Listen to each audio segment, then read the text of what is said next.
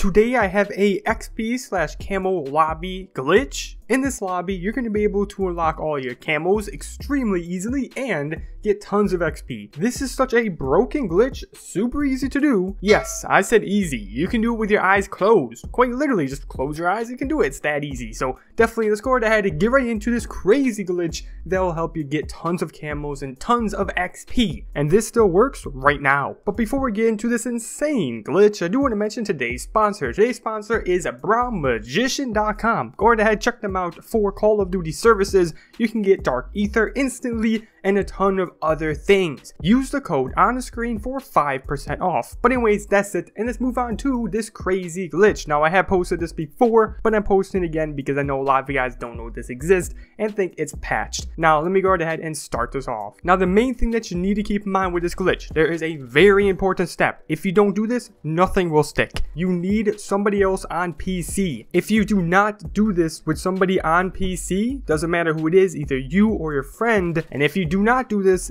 nothing will stick. In the video, I do it with another console player and on my console, just do every step that I do, but the main thing is make sure that one person is on PC. I said that multiple times, I really want you guys to understand that. Want to label one person player 1, then another person player 2. The reason why is because that'll just make this glitch a whole lot easier to understand and do. Now to get the most amount of XP, all you want to do is make sure that you activate those XP tokens before you start this glitch. So player 1 needs to do this. He needs to be in the multiplayer main menu, then he wants to go to versus bots, then pull up the settings. Now player 2 needs to go into the multiplayer main menu, then he needs to invite player 1 to his lobby. Now, what player 1 is going to get is a invite. You want player 1 to view the invite. Then, go into player details and select player details. At this point, player 2 is going to be in the multiplayer menu and you want him to send player 1 another invite. So go right ahead, have player 2 do that. Now once player 1 gets that second invite, you want player 1 to again view the invite, go down to view player details, and simply be in this. Now thirdly, you want to do the same thing. You want player 2 to invite player 1 to their lobby. So go ahead, have him do that, and then when player 1 gets that invite on the top right, you want him to view it, and this time you want him to accept the invite. If you have done everything right, then player 1 will still have the versus bots on his screen when he is joining. And once player 1 joins player 2, you want player 1 to open up the settings yet again. Then player 2 needs to back out and bring a party. Now, player 1 will have his screen go back to just having versus bots.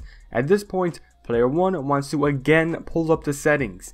Then player 2 wants to go into zombies. Now when you're in zombies, again player 1 is going to have those settings get pushed off the screen. Now at this point you want player 1 to pull up the settings yet again. Then player 2 needs to go into private match outbreak.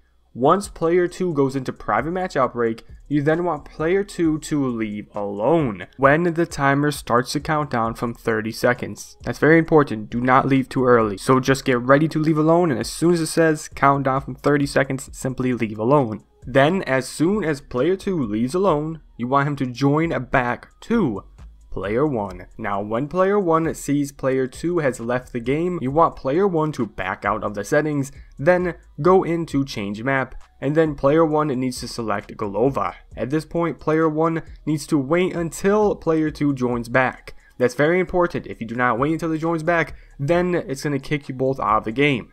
Now once player 2 joins back, you then want player 1 to select Team Deathmatch. At this point, player 1 needs to back out of this then player 1 needs to go to manage party and leave the party just like so. Now you just want to load up into the game.